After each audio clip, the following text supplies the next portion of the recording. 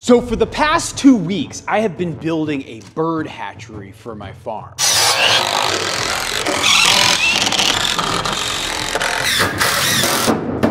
And that's not to say the project hasn't had a few problems. Oh no, Whew, that was close. The measurements you gave me are completely wrong. Uh-oh, it's not gonna fit.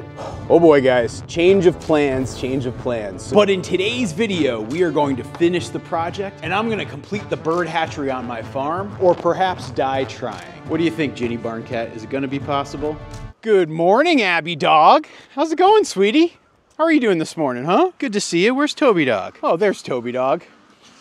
How's my dogs? How's my dogs? Good to see you guys. How was your night last night, huh? You? It sure is a windy one today, huh? Those ducks are sure are loud, aren't they, guys? All right, Abby, you got to be on good behavior because we're going to let the birds out. Come on. Good morning, birds. How are you guys doing, huh? Good to see everybody. Let's see how we're doing on our goose eggs for this morning. Oh boy, I see a couple here. We got one, we got two, we got three, we got four, and we got a random chicken egg here too. Huh. So lately I've been having good luck using these old hoop coop doors as like little nesting areas for the geese and they've they've definitely gravitated towards using them. These four eggs I'm gonna actually bring inside, pack in a box and ship them off. I think they're going to a farm out in Wisconsin. I'll sell a four pack of goose eggs for about $70 a box. And right now we're in the egg selling part of our season for goose eggs. But I will say, because I've just been getting a lot of emails on this and I haven't had time to respond to everybody, we're actually sold out on goose eggs for the rest of the year. We might sell some in like late June when I'm done hatching, but I've got so many orders right now that I'm basically filled up from now until April, which is when I'm gonna start hatching the goslings here on our farm to begin with, which is the whole reason I've been building the hatchery in the first place. Oh, would you look at this? These chickens are already trying to jump the line and steal the food. This is for all the birds, not just you girls. Come on, chickens, let's go. Back inside, let's go, come on. I don't know what we're gonna do with these chickens, Abby. Release the Kraken!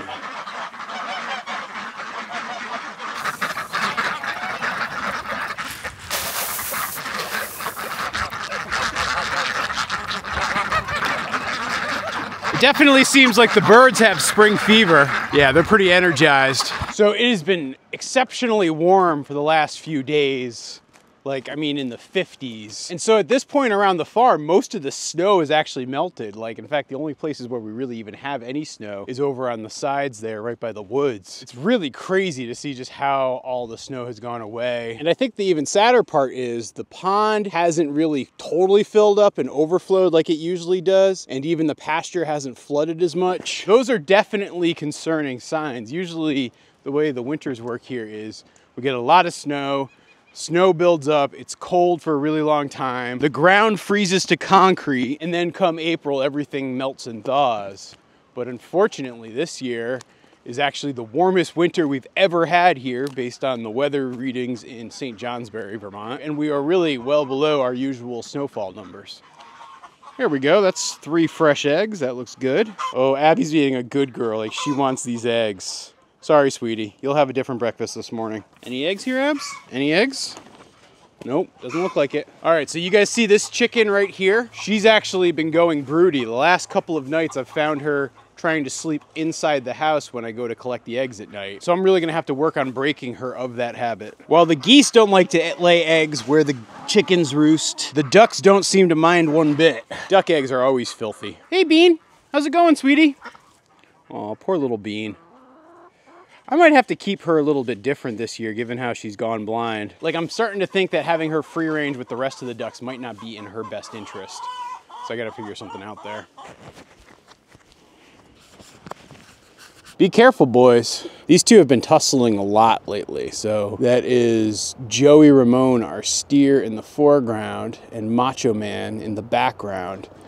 And I think Macho Man has really kind of finally gained supremacy over Joey, but they still have these sort of sumo wrestling matches on a pretty regular basis. Careful boys, don't hurt each other. Yeah, lately that's actually got me thinking that I'm probably gonna separate them when spring finally hits and I put all the cattle out to pasture. What's most likely gonna happen is Joey Ramone is gonna end up going with the yearling heifers and Macho Man's gonna go back with his ladies. Good morning, Belinda. How are you doing, sweetie?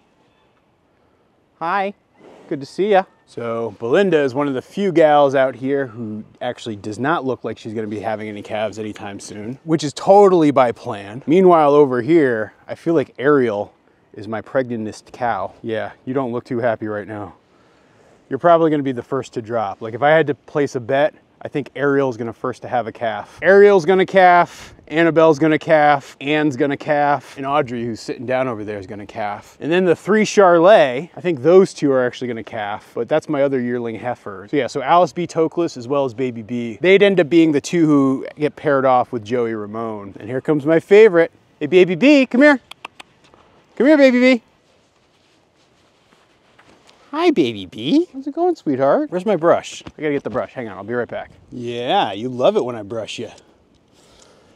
Good girl. Baby B has become now pretty much, I think, the second easiest cow to brush or bovine to brush. So Macho Man is still the easiest. Ariel and Baby B, I don't know, I guess they're tied maybe. But I think Baby B is quickly going to take Ariel's slot as the best female brusher. Yeah, that's all your hair. I'm just pulling right out. You're starting to shed. Oh, you're such a good girl, Baby B. Yeah. I'll brush you if you want. Audrey's like, no dice. Baby B just chased off Ginny. Ginny wants me to feed her, and Baby B wants me to keep brushing her. So in terms of what needs to be done to finish, let's go through the inventory here. Before I do, I gotta say, I'm absolutely loving how this door turned out. It's got a little latch so I can close it and I can't let barn cats in. I guess I could in theory lock it, but I won't. But yeah, so here we go, we're inside. As you can see, everything's been sealed up. It's actually been a great deal warmer in here, wow. like, uh, I, yeah, I don't, I'll get thermometers in here very soon later today, but in terms of temperature, it is significantly warmer inside here than it is outside here. Like it's a noticeable difference. But now given how everything looks, you might be wondering, what do I have to do to finish? And it's really only one major thing is I've got to put a ventilation system in here. So again, the goal for this room is it really needs to be kept between a certain temperature. Like I wanna keep it above 60 degrees Fahrenheit inside, as well as prevent it from getting up over, I don't know, 90, 95 degrees inside too. And in the summer months, there is the risk of that happening. Because this is up on the second floor, the second floor of a barn usually gets hotter. And then plus I'll have the incubators running, like say if I'm in June or July and I'm hatching chickens. And so I don't want it to get too hot. And on top of that, I'm also gonna be brooding some of the baby birds that I hatch. So the first couple of days of life for all my baby birds are actually gonna still stay inside this room. I have found that if you baby your birds in those first three or four days, you get such bigger, healthier, more robust birds than if I put them outside right out of the gate. On top of that, when they do get to be about four or five days old, I can mix them in with much older birds, like say birds that are two or three weeks old. And so what I typically will do is I will have a weekly hatch. That weekly hatch will start the first couple of days after those birds hatch. They'll stay in here. Then they'll go out to the shed when they hit, I don't know, four or five days old. And that will be just enough time that I'll be getting ready for the next hatch. And so it'll basically be a constant cycle that I'm running pretty much from, I don't know, I'm expecting my first hatches in like early-ish mid-May and then that will run until probably I don't know early July will be when I stop hatching because of that I need to be able to temperature control this room not just for the warmth which I'm gonna have a little electric radiator for but also to make sure it doesn't overheat and so that's where this little ventilation area is gonna come into play. So you've probably noticed that I left a hole over the door and that's because that's where the vent's gonna go. The other day I built this super simple vent. It's really basic. What I did was I got a couple of cheap USB powered fans off of the internet. So see, they got these like little USB cable connections on the back. That's what powers them. And then I cut some holes in a board and I fastened the fans in place with some spray foam insulation. I gave that spray foam insulation a couple of days to dry, and now what I need to do is actually mount this up there.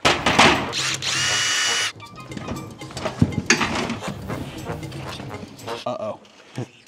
I don't think it's gonna quite fit. The spray foam expanded so far that it creates too much of a lip. You know, actually, as I'm looking at it, I think I wanna mount it this way from the inside, just like that. There we go. It's looking nice and secure. I'll just pull these cords around the side here and I'll set them up here so that I can have a plug ready to go for that. And now you guys might be noticing that there's some daylight there and that it's all exposed. And what I think I'm gonna do is actually build a removable cover that I can put right there so that it keeps everything insulated in the winter. And then when the warmer months come, I can just take it off and then just leave it open until I need to cover it back up again.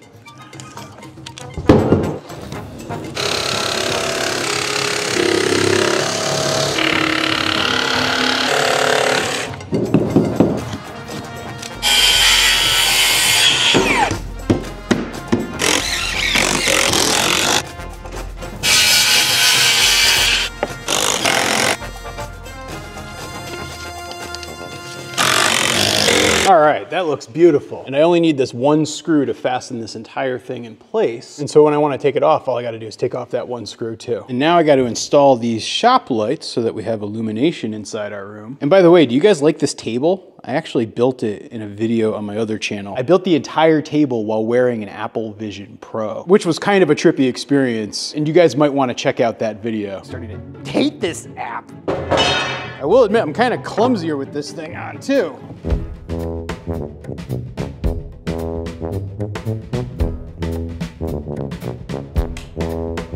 I like it, I like it. Nice and bright in here. This is great.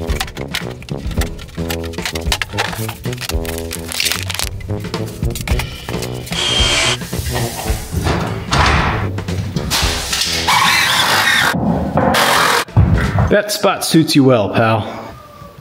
Good to see you, old friend. So I still have a couple more weeks before I actually have to officially move in here and start hatching, but it is time to now do a really important test and see if I can maintain a temperature inside this room.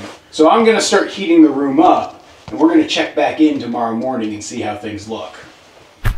Whoa, you look at that? What a difference a night makes. We got about a foot of snow overnight and it's really wet and it's really heavy. We'll go up and check the temperatures and see if we were able to retain heat throughout this storm last night. But first I've got animals to take care of. Good morning, large white farm dogs. How are you guys doing? You seem pretty happy. Morning, birds! Wow, it is downright hot and humid in here. It's about 25 degrees Fahrenheit outside and easily in the 40s inside. Oh, here we have our chicken feeding frenzy. Abby, they're not dogs. You can't sniff them like other dogs. I know, I know. You, you just mean very good right now. Release the Quacken!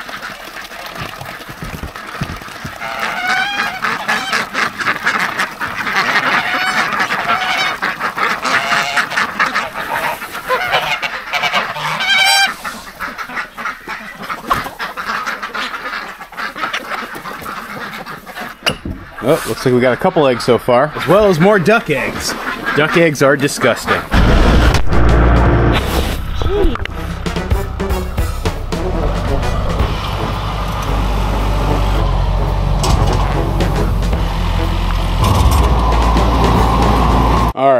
Now it's time for the moment of truth. Let's see how well insulated this incubator room is going to be. I don't have a guarantee that this is going to work. Like I've had this vision of building this hatchery and so much of that vision has relied on this concept of me being able to insulate this room, I'm a little bit worried about what my odds are here on this one. So now to test things out, I actually have a special tool that I think will make this a little bit more interesting. What I've got right here is actually an infrared camera. It'll help me sense heat, basically give me like heat vision if that makes sense. You just basically plug it in just like this. So if you look at it, right, it's actually got like a camera lens right here and here. And so as you look through what things look like, it'll give you a sense of things. Now, if we look actually on the camera, you'll see it's like about 36 degrees right there. So the air temperature inside the barn here is about 36 degrees. But then as I look at the door, that's actually a good sign. It's saying the door is 40 degrees. Let's see what this actually looks like.